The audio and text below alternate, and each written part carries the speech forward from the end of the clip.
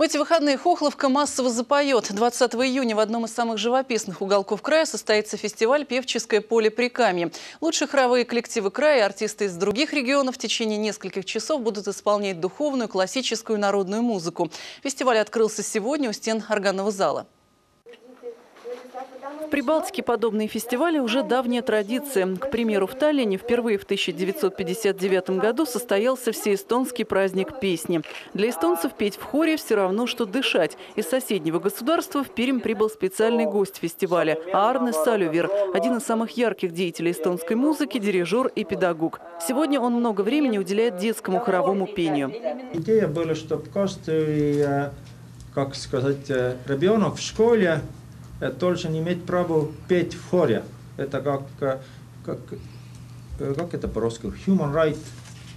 Человеческая правда. Человеческая правда петь в хоре, и чтобы у него было тоже э, учитель, хороший учитель. Когда-то певческие хоровые традиции были сильны и в России, в том числе и на Пермской земле. До революции губерния насчитывала около 300 хоровых коллективов.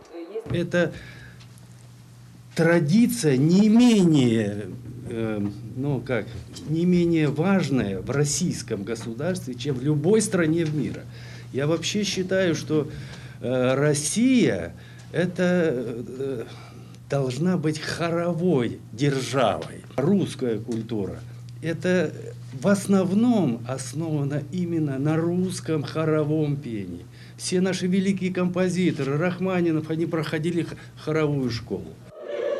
Грядущие выходные Прикамье вспомнит старые традиции. В Хохловке под открытым небом соберутся лучшие краевые коллективы. На певческом поле зазвучат произведения классической, народной и духовной музыки. А в числе специальных гостей, кроме Арны Салювера, хор Вознесения из Екатеринбурга и коллектив из Тюмени. Выступят все абсолютно хоры, выступят совместные уральские и тюменские. Они выступят и отдельно. Вы сможете посмотреть и фольклорные ансамбли, и просто хоровые академические ансамбли. И где-то будут инструменты. И специально мы пригласили коллектив Пермской филармонии «Квартет Каравай». Вот. Я надеюсь, что всем очень понравится.